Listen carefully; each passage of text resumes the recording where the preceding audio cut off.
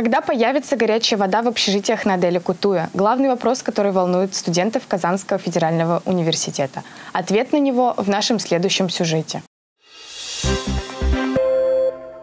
Во дворе третьего общежития Казанского федерального университета ведется строительство тепловой сети. Работа направлена на обеспечение горячей водой пяти общежитий – первого, второго, третьего, четвертого и шестого. Процесс перекладки труб горячего водоснабжения на аварийном участке начался на прошлой неделе в четверг. Важно отметить, что производится также демонтаж старой сети. Протяженность данного участка трубопровода примерно 142 метра.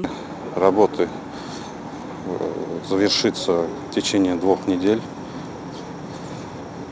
чтобы обеспечить горячее водоснабжение наших общежитий.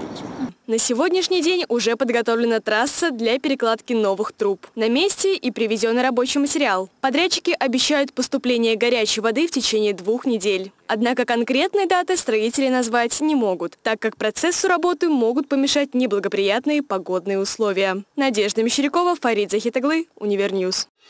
Thank